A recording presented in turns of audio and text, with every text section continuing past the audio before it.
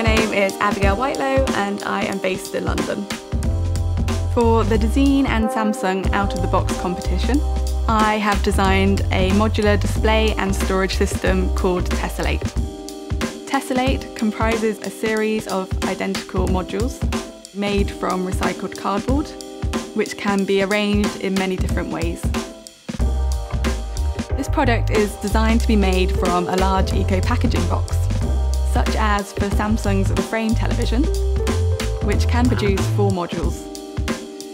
You can arrange them in many ways to create shelving for different rooms. And it can easily be adapted, giving endless possibilities to a cardboard box that would usually be discarded.